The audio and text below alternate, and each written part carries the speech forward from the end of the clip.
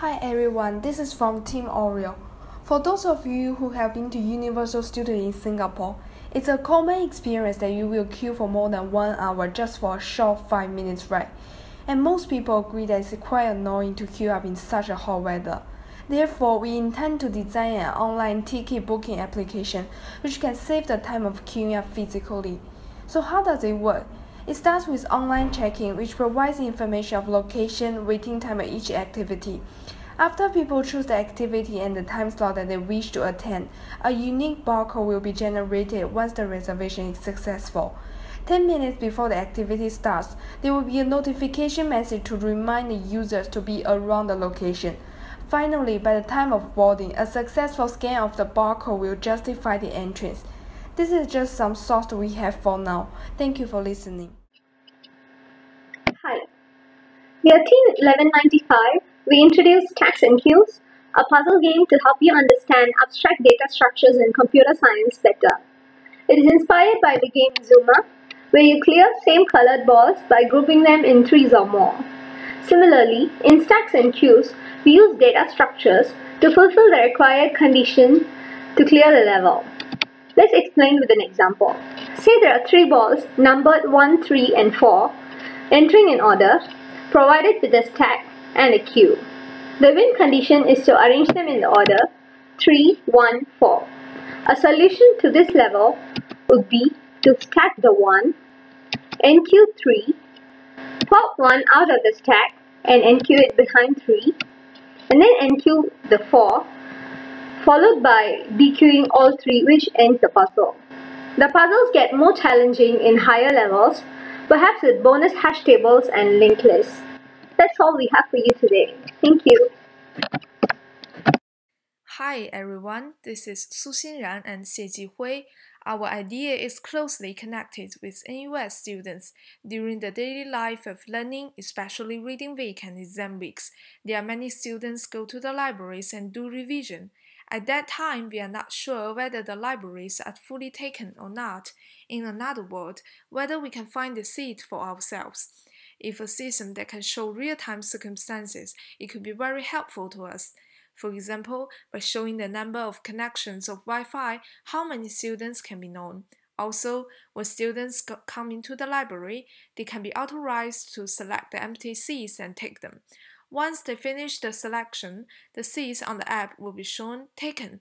In this way, before students go into the libraries, they can know the real-time seat circumstance anywhere.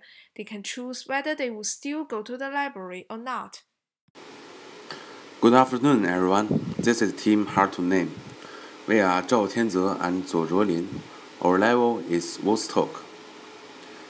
Many families are using the old routers which only have several cable interfaces. Our purpose is to build a device which can improve an old generation router to a personal cloud drive. To achieve this idea, our device should contain a Raspberry Pi and a hard disk. We will do programming inside the Raspberry Pi to let users to control the input-output of the driver through the local network. Therefore, to achieve download and edit the data in a driver whenever the user connected to the router through Wi-Fi or cable. Thank you.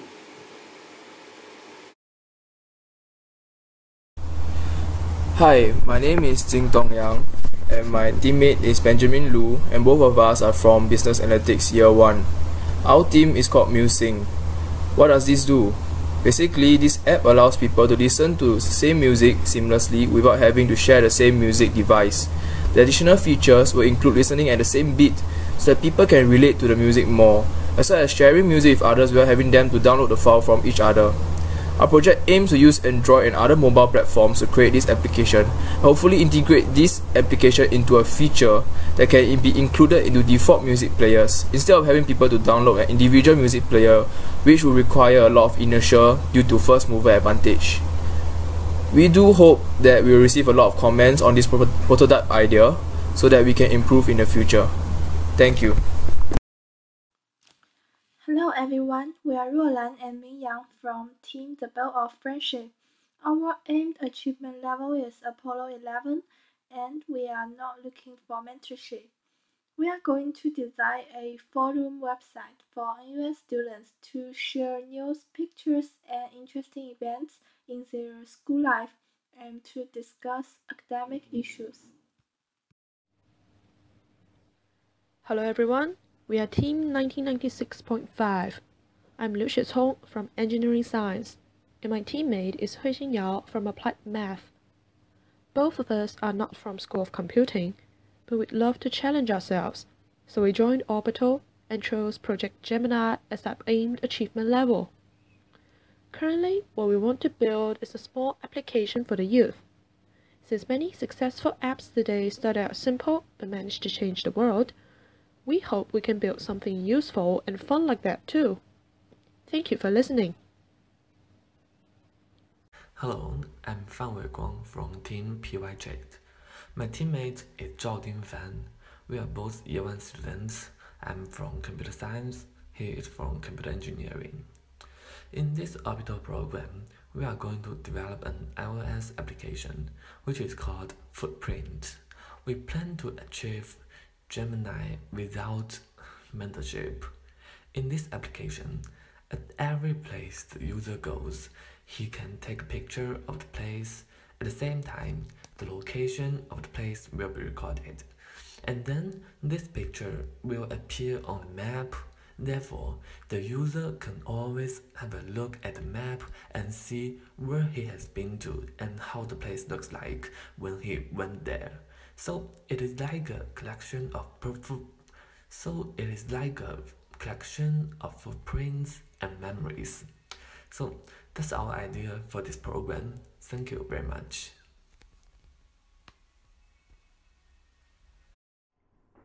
Hi, this is Team Satellite.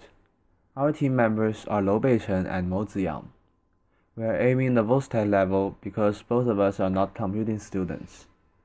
In this program, we want to build an app because we think a good app can be very interesting and can make life more convenient in many ways. The app we build may not be a complicated one, but we will make it useful in our daily life.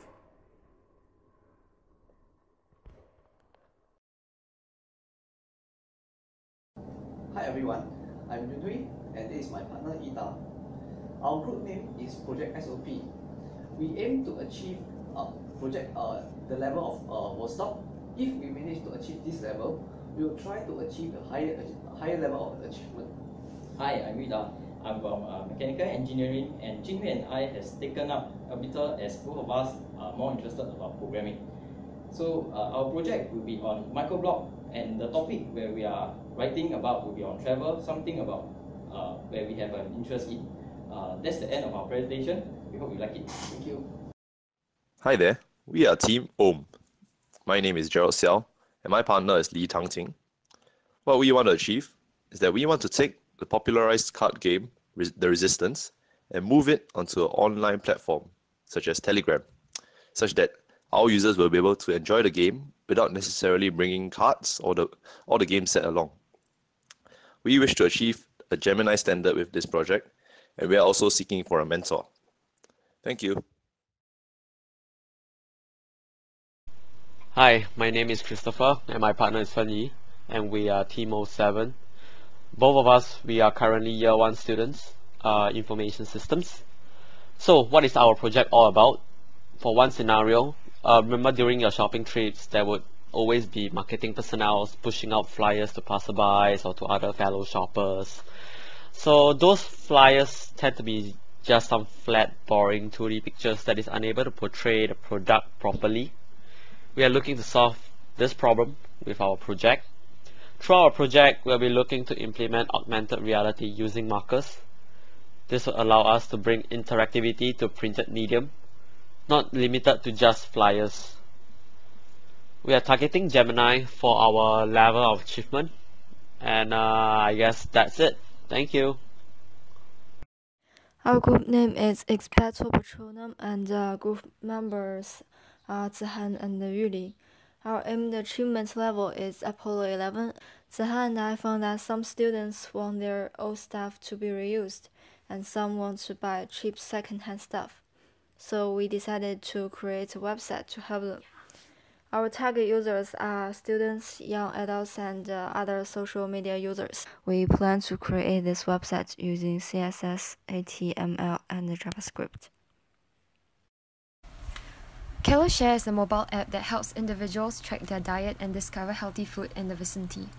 Maintaining a healthy diet is tough when you're busy and don't have the time to cook or prepare healthy food. You might have to eat out frequently, but where can you find healthier food around you?